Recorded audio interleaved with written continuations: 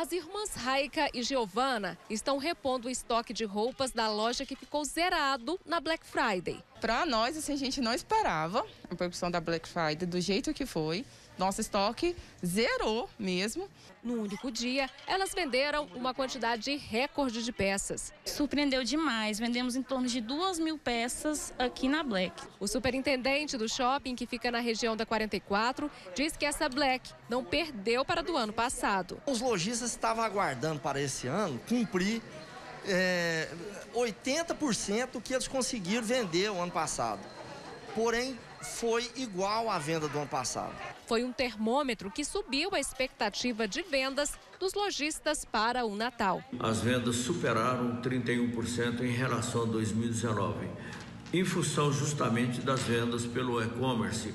E as vendas físicas também foram muito bem, em lojas cheias e o mais importante, todos atendendo aí as orientações da Organização Mundial de Saúde, justamente para evitar aí o contágio. Significa que a economia está retomando e que nós vamos ter um Natal muito bom aqui na região. Para quem vende eletroeletrônicos e eletrodomésticos, a Black Friday também alavancou muitos números no comparativo com o mês de outubro.